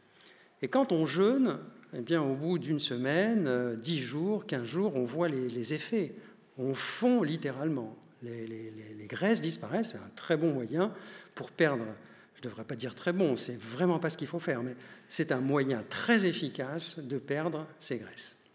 Les gens qui font de la musculation euh, font, ça c'est mon fils qui m'a expliqué ça, ils font ce qu'ils appellent de la sèche. Ça veut dire ce que ça veut dire. C'est-à-dire de la sèche, c'est-à-dire qu'ils continuent à faire de la gonflette et puis euh, ils mangent plus. Ils mangent plus du tout. Alors évidemment, ils bouffent toute leur graisse et ils n'ont plus que la peau sur les muscles. C'est, paraît-il, formidable. Et quand on n'a plus de graisse, c'est là que ça devient extrêmement dangereux. Ben, le cerveau, lui, il lui faut de l'énergie. Il, lui, il fera tout, il vous mangera jusqu'à l'os pour pouvoir se nourrir. C'est exactement ce qu'il fait. Il attaque les muscles, il attaque les protéines. Pendant très longtemps, on, savait que le glucose euh, bon, nourrissait. On, avait compris il y a très longtemps que les triglycérides étaient capables, par la dégradation des triglycérides donc en glycérol et en acide gras libre, de donner du glucose et des corps cétoniques pour les cerveaux. Mais ce n'est qu'en 1947, donc il n'y a pas si longtemps, vous voyez, qu'on a compris qu'il était possible de transformer des protéines en sucre. Et c'est ce que fait le cerveau, ce que demande à notre organisme de faire le cerveau. Et ce sont deux personnes, Karl et Gertie Cory, qui étaient d'origine euh, tchèque, qui en 1947 ont découvert ce qu'on appelle le cycle des Cory, c'est-à-dire comment un acide aminé est capable de se transformer en énergie rapidement utilisable par le euh, glucose, donc en fabriquer de l'énergie pour le cerveau. Ils ont eu en 1947 le prix Nobel de euh, médecine et de physiologie pour cela. Le jeûne. Euh, bon, bah, Théodore Monod disait, disait que lui jeûnait toujours un jour par semaine. C'est peut-être pas bien méchant. C'est pas bien méchant un jour par semaine. Il vide son foie, c'est très bien, mais ça ne va pas plus loin. Il faut trois jours pour commencer à attaquer ses réserves de graisse. Et puis au bout de 15 jours environ, euh, on n'a pratiquement plus de réserve de graisse rapidement mobilisable et on commence à attaquer sa réserve de protéines. Donc euh, c'est quelque chose qui n'est absolument pas physiologique, absolument pas physiologique et qui vous expose à des euh, carences qui sont particulièrement graves. Parce que quand on ne mange plus, alors d'abord on maigrit, on graisse, mais surtout on ne prend pas, on n'ingère pas des, choses qui sont tout à fait essentielles. Je vous en ai parlé tout à l'heure, c'est un tout petit peu les vitamines. Les vitamines, c'est fondamental. Or, notre organisme ne fabrique pas de vitamines. La vitamine, sa particularité, c'est qu'elle n'est pas fabriquée par l'organisme, il faut absolument aller la chercher dans son alimentation. La vitamine A, la vitamine B, la vitamine D, la C, la, la E, F, la vitamine G, enfin vous voyez, il y en a beaucoup, mais on sait qu'il y en a certaines qui, si vous ne les prenez pas, sont à l'origine de graves maladies. Je, je, pardon je, oui. Hein. je ne vous en cite que, que, trois. Regardez, la vitamine C, c'est le scorbut. On n'a jamais vu un pirate avec toutes ses dents. Vous savez pourquoi maintenant? C'est que euh, sur les bateaux, au long cours, euh, il n'y avait pas de fruits frais, comme la vitamine C, c'est dans les fruits frais. Eh bien, il faisait ce qu'on appelle le scorbut, il y a des, anomalies de la peau, c'est terrible, ça finit par vous tuer. Vous avez toutes les dents qui se euh, déchaussent toutes seules. c'est encore, on, voit encore du, scorbut? C'est tout à fait exceptionnel. On ne le voit que dans certaines conditions, dans certaines situations. Chez les enfants, il y a eu euh, quelques malfaçons dans les laits, dans les laits artificiels, sans apport de, vitamine C. On a vu des, nourrissons développer des scorbutes comme ça. Et dans les populations reculées où on ne mange que du poisson cru, il y a dans les poissons crus euh, euh, des, des, enzymes qui sont capables donc de dégrader la vitamine C et de faire en sorte que finalement vous avez des régimes sans vitamine C. Ils développent du scorbut. Quand on n'a pas de vitamine D, on développe du rachitisme, ça c'est l'image typique du rachitique avec les os déformés. Et puis, quand on ne prend pas de vitamine B1, on finit par développer une maladie qu'on appelle le beriberi. Je ne sais pas si vous avez entendu parler de cette maladie euh, terrible qui, euh, beriberi, euh, ça veut dire, c'est du Sri c'est la traduction de, Sri Lankais, il n'y arrive pas, quoi. Il ne peut pas, il ne peut pas, c'est Berry, Berry. Il peut pas, il peut pas, ce sont des gens qui n'ont plus de muscles, qui n'arrivent plus à se relever, qui n'arrivent plus à se euh, mobiliser. Enfin, la vitamine A, les avitaminoses A, c'est pas bon non plus. Euh, quand vous ne prenez plus de vitamine E, ça crée des troubles euh, également. On peut perdre ses cheveux. Enfin, il y, a beaucoup d'anomalies associées à cela.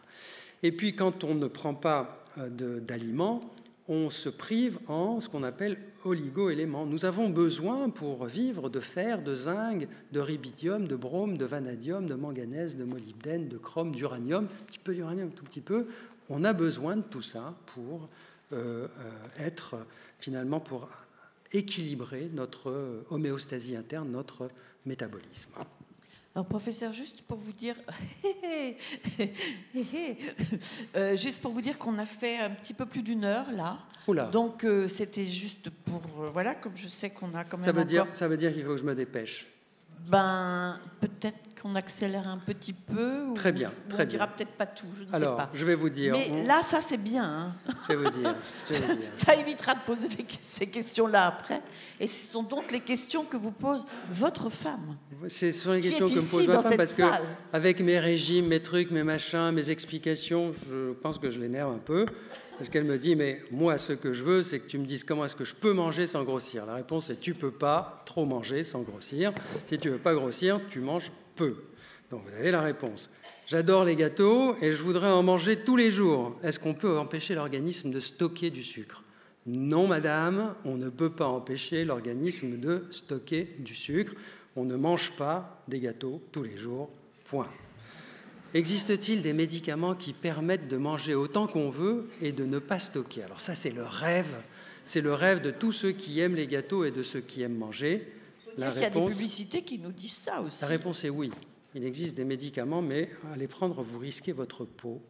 Et il y en a en particulier euh, un qui aujourd'hui, euh, je, pense que ça doit se faire encore, c'est de prescrire à, ces jeunes femmes qui veulent perdre du, poids à toute vitesse, surtout avant les vacances d'été pour pouvoir entrer dans le bikini, ce sont des hormones thyroïdiennes.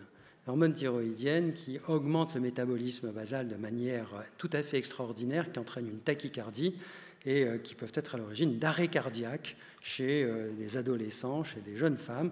Donc attention de ne pas aller euh, prendre ces substances qui font finalement qui sont contre nature. Pour, pour ne pas grossir, il bah, faut manger modérément, il faut manger peu, et puis il faut manger équilibré, vous avez compris, pas le petit, le petit gâteau à la fin, c'est pas très bon, les graisses pas trop parce que ça va directement là, le sucre un petit peu, ça suffit, parce que c'est transformé en graisse le sucre. Voilà. Puis maintenant qu'on sait comment marche la machine et que c'est vrai qu'on peut, être euh, admiratif, cette machine est extraordinaire. C'est tout à fait extraordinaire et si on sait la manipuler avec intelligence, eh bien on vit euh, parfaitement bien. Je vais vous donner quelques petites notions là. Euh, comment maigrir? Ben, D'abord, ne vous posez la question que si vous êtes en surpoids. Vous ne pouvez pas maigrir si vous n'êtes pas gros. Enfin si, vous pouvez, mais ce n'est pas la peine, évidemment. alors, est-ce que je suis gros? Bah voilà, je vous dis, on peut calculer son IMC. L'IMC, c'est son poids en kilos divisé par sa taille, j'ai oublié ici un petit 2, au carré. C'est la taille au carré. Si vous êtes au-dessous de 25, vous êtes bien, ne cherchez pas à maigrir. Si vous êtes entre 25 et 30, vous êtes en surpoids, vous pouvez maigrir, mais en mangeant moins. Ce n'est pas la peine d'aller euh, chercher des méthodes insupportables et douloureuses. Si vous êtes au-dessus de 30, ça commence à être sérieux, vous êtes obèse, et si vous êtes au-dessus de 35, vous avez atteint le stade de l'obésité morbide et c'est à ces malades-là que s'adressent toutes les chirurgies que l'on peut vous proposer euh, aujourd'hui. Mais en général, avec de bonnes règles hygiéno-esthétiques, avec du sport, avec des régimes équilibrés, de l'activité physique, des régimes hypocaloriques, c'est-à-dire pas trop de sucre, pas trop de graisse, on arrive parfaitement à rétablir son poids. Il faut simplement un petit peu de courage. Encore une fois, la chirurgie, c'est réservé cause obésité morbide et en cas d'échec des traitements. Et aujourd'hui, l'opération STAR, dont vous avez tous entendu parler, c'est le bypass. C'est une vraie torture. On court-circuite les trois quarts de euh, l'intestin et on vous ampute les euh, 9 dixièmes de l'estomac et on vient brancher donc cet, intestin sur l'estomac. Donc non seulement vous ne pouvez pas beaucoup manger, mais en plus, tout ce que vous absorbez ne va que dans la partie distale de l'intestin. Il y a tout ceci qui est court-circuité et qui ne permet pas d'absorber. Alors ça entraîne des carences terribles, mais, mais, mais, comme vous êtes suivi par un médecin, il peut vous, vous, corriger euh, vos carences et faire en sorte que ce soit très efficace. Je vous donne quelques chiffres. Euh, euh, voilà le taux d'obésité en France en 2012. En 2016, on doit être aux alentours de 20%. 20% de la population. 20% de la population est obèse à un IMC qui est supérieur à, à, 25. C'est énorme. Une personne donc sur, sur 5. Et ça, ne, et ça ne fait qu'augmenter.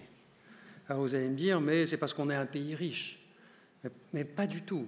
Euh, la richesse n'a rien à voir avec cela. C'est au contraire dans les zones des pays développés les moins favorisés qu'il y a les plus gros, parce qu'ils mangent mal.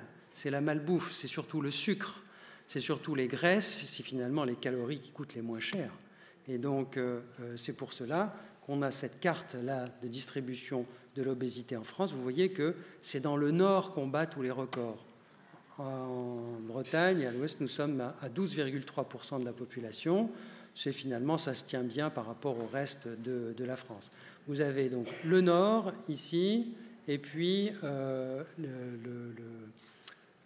cette, région qui est la région, la, région centre et la région est qui donnent les plus forts taux de surcharge en, poids. Je vais finir euh, mon exposé en vous parlant de quelque chose qui fait la une aujourd'hui euh, de tout ce qu'on peut lire sur euh, le tube digestif. Il y a une littérature très abondante et on n'en est vraiment qu'au début, c'est ce qu'on appelle le microbiote intestinal. On s'est rendu compte, enfin on ne s'est pas rendu compte, on le savait depuis longtemps, que nous ne vivons pas tout seuls et que nous sommes habités par des milliards, des milliards de germes qui euh, ne sont pas nos ennemis, mais qui sont nos amis. Alors on parle du microbiote intestinal, mais nous avons aussi plein de germes sur notre peau, et ces germes-là nous protègent. Nous avons des germes dans le foie, et ces germes-là nous protègent. Ils peuvent être pathogènes, mais ils nous protègent, ils nous aident à accomplir un certain nombre de fonctions. Le microbiote intestinal, ce sont tous les germes qui habitent notre tube digestif. Il y en a une quantité absolument extraordinaire. Il y a plus de cellules germes compris, dans un gramme de sel que dans le cerveau humain. Vous vous rendez compte à quoi on est réduit? Donc il y a dix fois plus de bactéries dans notre intestin, 10 puissance 14, que de cellules dans notre organisme. 10 puissance, 14, si vous faites vite le calcul, ça fait 100 000 milliards. 100 000 milliards germes, alors que nous, avons 10 000 milliards cellules dans notre organisme. C'est tout à fait extraordinaire il y a 10 à 100 fois plus de gènes, puisque chaque micro-organisme a un gène dans notre intestin que dans notre organisme. Enfin, notre contenu intestinal en germes, c'est 1,2 kg. Nous sommes habités par 1,2 kg de bactéries diverses et variées, et il y a de multiples, multiples espèces. 3000 espèces dont on ne sait pas encore très bien aujourd'hui à quoi elles servent toutes. Elles vivent les unes à côté des autres, en équilibre, et euh, cette biodiversité entre les différentes espèces est tout à fait indispensable. On sait en particulier que, euh, vous savez d'ailleurs, quand vous prenez un antibiotique, il vous arrive d'avoir un dérèglement intestinal. C'est parce que vous modifiez l'équilibre physiologique en prenant des antibiotiques, en tuant certaines familles de germes et en laissant les autres qui sont résistantes aux antibiotiques, et cela entraîne des... Euh, déséquilibres qui sont extrêmement euh, délétères. À quoi sert le, microbiote intestinal? Il interagit avec notre alimentation, ça fait fermenter, ça détoxifie.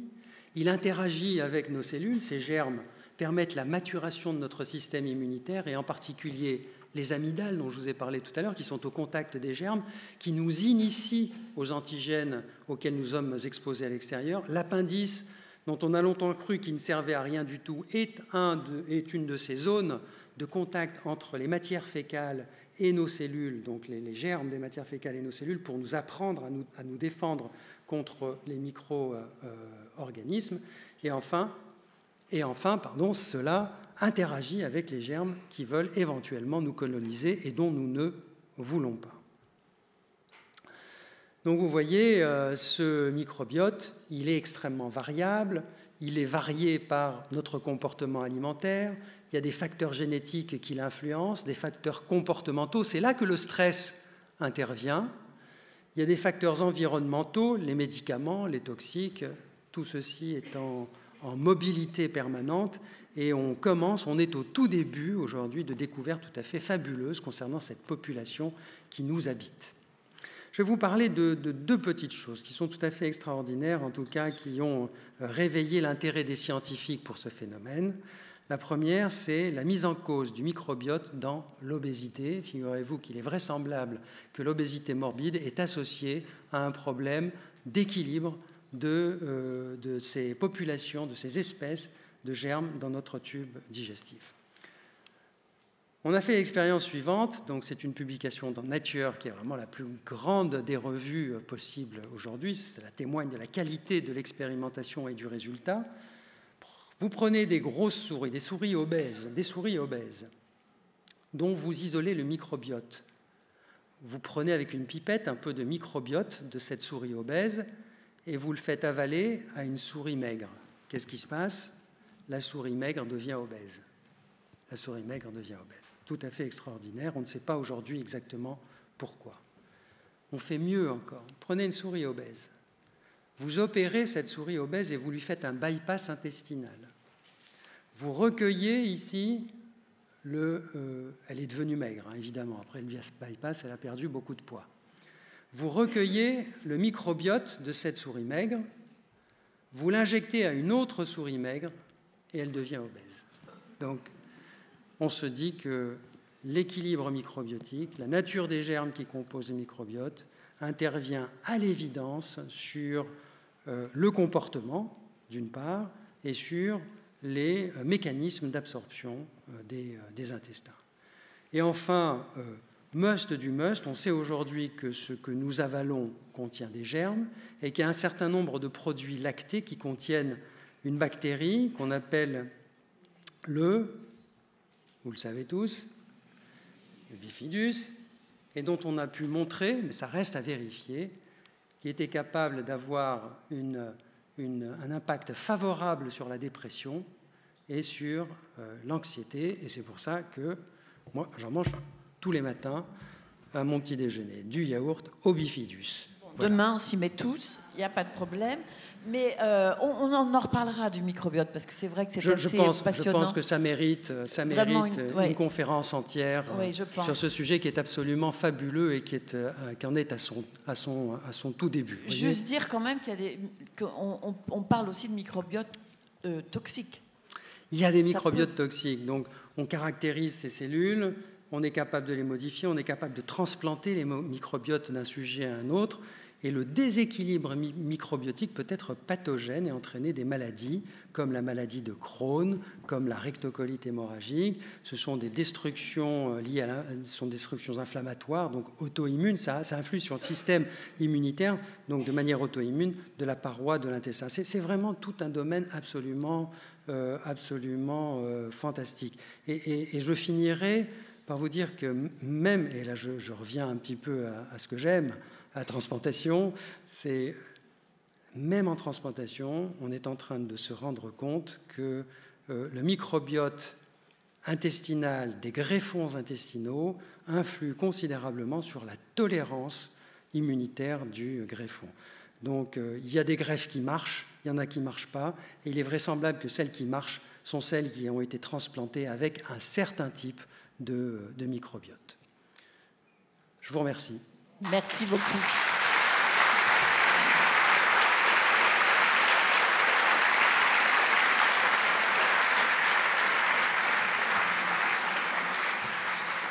Merci beaucoup, professeur. C'est vrai, je vois que vous avez vraiment beaucoup, beaucoup travaillé. J'étais déjà très impressionnée par la conférence que vous aviez faite à Saint-Malo, mais vous l'avez retravaillée, réactualisée. Vraiment, merci euh, d'avoir pris de votre temps pour, pour faire cela et, d'être venu partager toutes ces connaissances avec nous. Alors, on va peut-être pas prendre beaucoup de questions, donc si vous en avez, vous levez vite la main et on va venir vous voir. Ici, déjà, une question. Voilà. Merci. Euh, il me semble qu'il euh, y a des études qui prouvent que euh, le fait d'utiliser du fructose pour, dans les sodas, c'est quelque chose qui favorise l'obésité.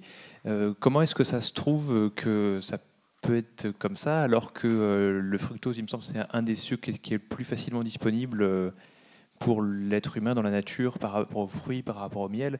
Et du coup, qu'est-ce qui se passe dans le corps quand on prend du fructose par rapport au glucose ou saccharose? Voilà, merci. Alors, je, vais vous dire mon. Je, crois que c'est une grosse supercherie. L'histoire du fructose. Le fructose euh, s'est transformé en glucose. Donc, vous absorbez le fructose, il est transformé en glucose, il joue comme du glucose. Mais il y a beaucoup, beaucoup, beaucoup d'industriels de, alimentaires qui jouent sur euh, le mot fructose pour laisser imaginer, et sur le fait qu'on en trouve dans le miel, qui par ailleurs a des vertus tout à fait extraordinaires, je n'en disconviens pas, et qui joue sur ce, phénomène-là pour essayer de faire passer euh, un certain nombre de messages qui sont erronés. Que vous mangiez du fructose ou du glucose, c'est pareil. Donc, voilà. Est-ce qu'il y a une autre question? Euh, que pensez-vous des médecins qui préconisent des cures de probiotiques ben, Les probiotiques, ça a une influence sur le microbiote. Euh, je, crois qu'aujourd'hui, nos connaissances sur le microbiote sont très insuffisantes pour pouvoir euh, arriver au stade d'en faire une thérapeutique. Alors c'est sûr, il y a des produits probiotiques qui permettent de modifier le microbiote, euh, mais d'ici à en faire un, médicament, je puis dire, avec des vertus très particulières pour traiter telle ou telle maladie, c'est encore prématuré. Je ne dis pas que c'est pas ça l'avenir, peut-être, mais pour l'instant, nos connaissances sont insuffisantes dans le domaine. Alors, une question à la mezzanine. Bonjour, je suis biologiste et je suis touchée par euh, une dysbiose. La dysbiose, c'est-à-dire l'altération de la flore de l'intestin grêle, euh, a beaucoup de conséquences dans beaucoup de maladies aujourd'hui, immunitaires ou euh, digestives et toxiniques, puisque les toxines passent dans le sang. Et du coup, moi, je trouve qu'on devrait, quand on parle de la digestion aujourd'hui, ne pas oublier cette symbiose que j'ai découverte parce que je suis touchée en tant que malade, et non pas en tant que biologiste, je n'ai pas appris ça à l'école, que les entérocytes de l'intestin grêle finissent la digestion en, en, sécrétant des enzymes qui transforment les sucres en C6, le stade final du sucre, et quand euh, notre flore est altérée, ces, sucres euh, ne peuvent pas être transformés, passés dans le sang, et donc ils nourrissent la flore, la flore euh, opportuniste ou pathogène en fait. Et la dysbiose s'auto-entretient. Et du coup, donc, au niveau de l'intestin, on ne peut pas dire grêle, on ne peut pas dire qu'il y a une simple absorption. C'est pas vrai, c'est faux. Je pense qu'il faudrait euh, dessiner les bactéries de l'intestin grêle, qui sont des bactéries lactiques et qui nourrissent les entérocytes à 60%. Et ça, c'est des découvertes anglo-saxonnes euh, de gens qui sont euh, médecins, qui sont dans, dans, la santé et qui ont des enfants touchés par ces problèmes de dysbiose, maladie de Crohn, autisme, dyslexie, eczéma, asthme. Tout à fait. il faut absolument, euh, encore une fois, j'insiste, le microbiote, c'est quelque chose qui mérite d'être exploré. mais, et qui mérite euh, à soi euh, des explications, d'entrer dans le détail. Ceci dit, je crois qu'il faut faire attention aujourd'hui de ne pas se jeter corps et âme dans le microbiote pour tout expliquer et euh, ça ne me paraît pas très sain. Euh, il y a beaucoup, beaucoup de choses qui ont été euh, montrées. Il y a beaucoup d'éléments aujourd'hui dans les observations, en particulier chez les animaux, qui nous laissent penser que nous sommes fusionnels avec cette population de germes. Je vous raconterai une petite histoire. mais attention de ne pas vouloir tout expliquer par euh, l'existence du microbiote. Vous savez, les, chercheurs, c'est comme les abeilles. Il y en a un jour qui trouve une, une fleur, euh, et puis tout le monde se précipite sur la malheureuse fleur pour aller butiner. Euh, et puis quand il n'y a plus rien à butiner, on est tous là à chercher, on ne sait plus quoi chercher, puis on entend dire qu'il y en a un autre qui a trouvé ça, et puis on fonce tous là-bas. Ceux qui trouvent, en fait, ce sont les abeilles qui n'ont pas suivi les autres et qui sont allés sur les voies détournées, parce que c'est là que ça se passe. Alors, la petite histoire que je voulais vous raconter, c'est que quand on regarde au microscope un foie, une cellule de foie, on y voit euh, par cellule des centaines de ce qu'on appelle mitochondries. Les mitochondries, ce sont des petits organelles qui ressemblent à s'y méprendre à des bactéries. On pense donc que finalement, cette symbiose entre le monde unicellulaire et euh, les organismes vivants euh, complexes existe depuis la nuit des temps.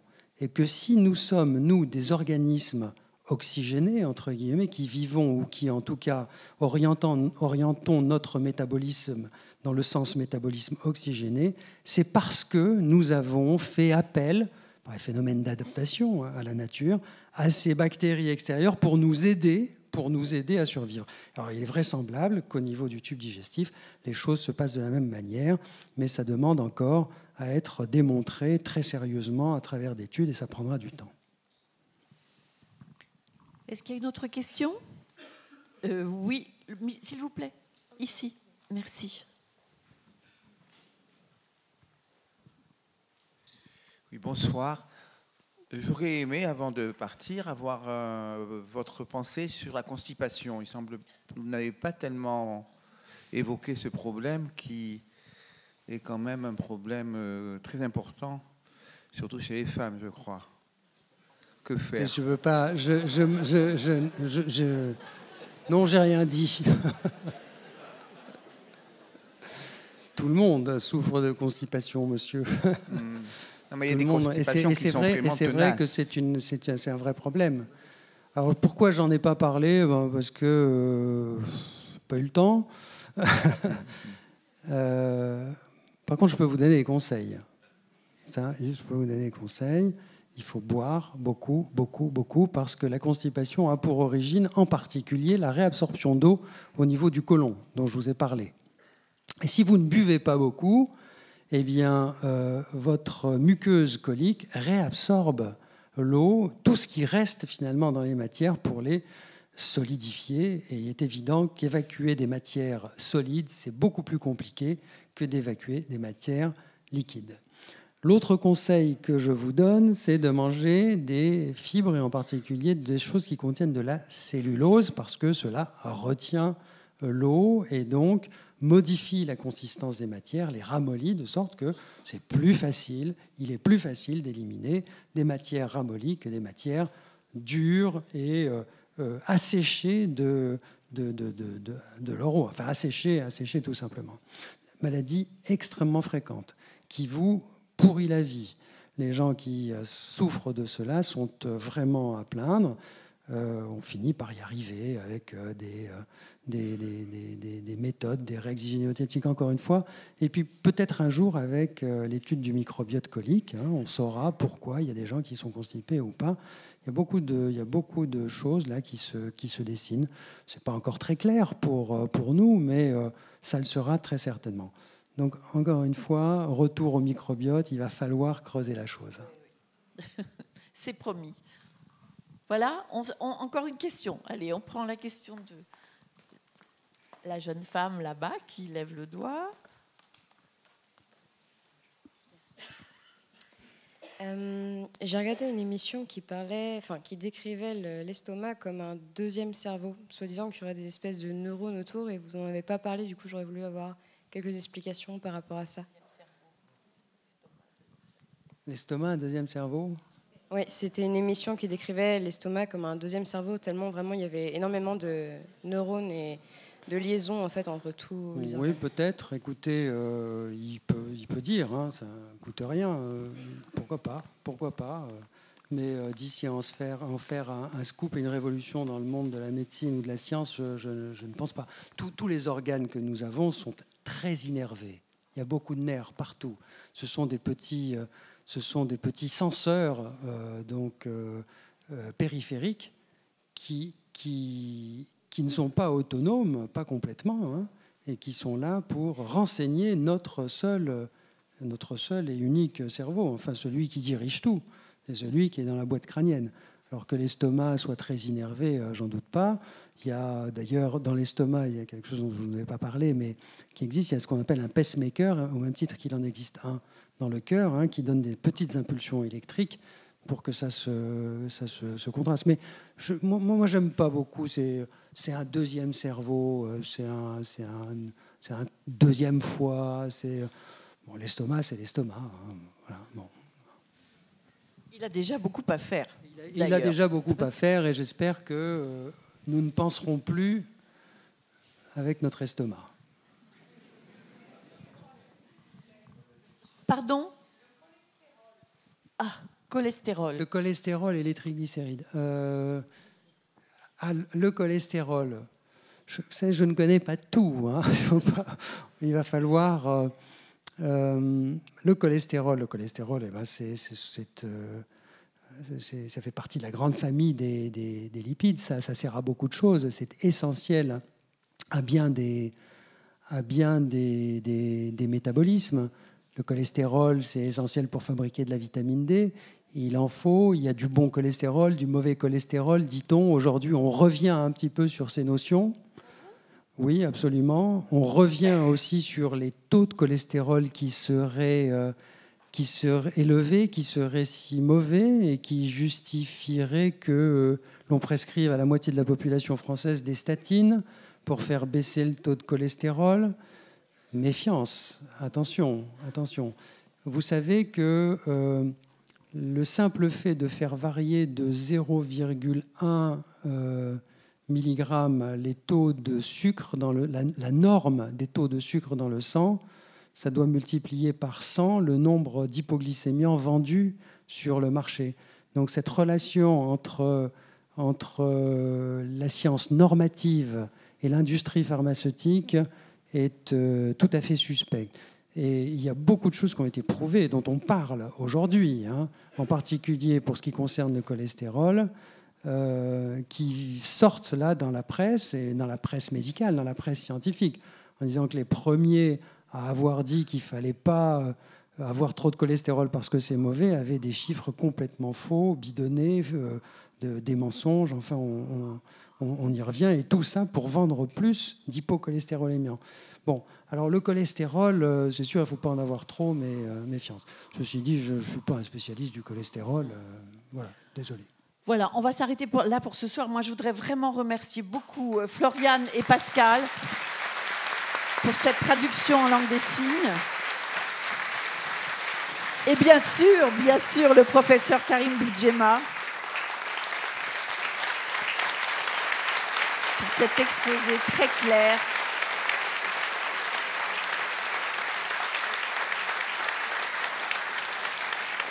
La semaine prochaine, nous allons recevoir euh, Pierre Jouventin. Euh, les habitués le, connaissent. Euh, il était venu nous parler du loup et du chien la dernière fois qu'il était venu. là, il va nous parler de la face cachée de Darwin. Ça va être une conférence formidable.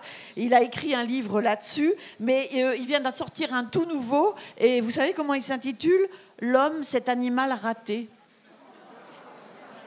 Donc on en parlera la semaine prochaine et il nous parlera, une conférence sur la, la face cachée de Darwin. Je voudrais remercier toute l'équipe euh, qui a permis euh, à cette conférence de se dérouler. Merci à l'équipe régie euh, des Champs Libres, à l'équipe d'accueil des, des, Champs Libres également. Et, et merci à vous de nous être aussi fidèles. Bonne soirée et à bientôt j'espère.